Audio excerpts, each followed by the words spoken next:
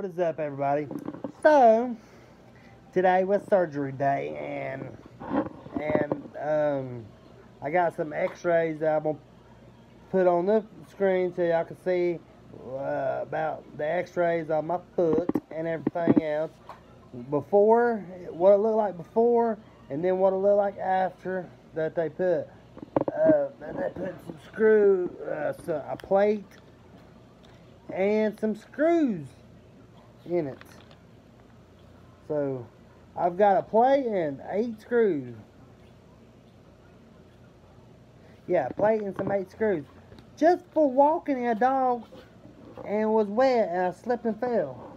That's crazy.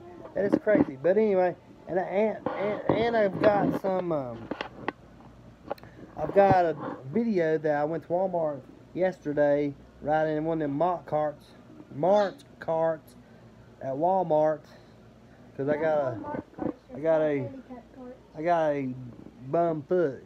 Dad, they're not called As- cart, uh, Mart carts. They're called handicap They're called- carts. Handicap carts, Mart. They call them Mark carts at Walmart. I call them handicap carts. Okay, so and I got a compression sock on this foot. This foot right here. Yeah, right here, this foot right here is compression sock. They said it help with blood clots. I have to move it around and everything else.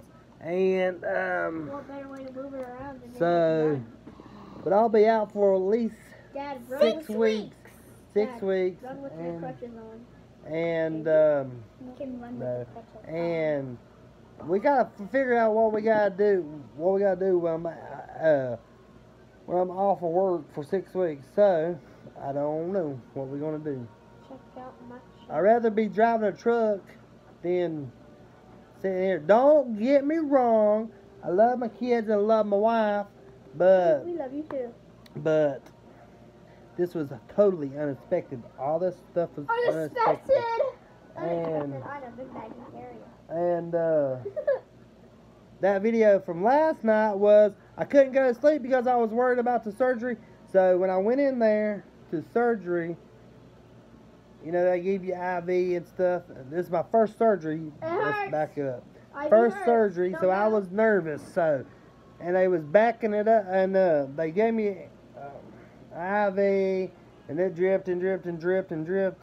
You know. Don't go. And IV then, hurts. and then I went to the operating room and they put this thing on my mouth and they said, it's going to help you breathing. And that's all I remember.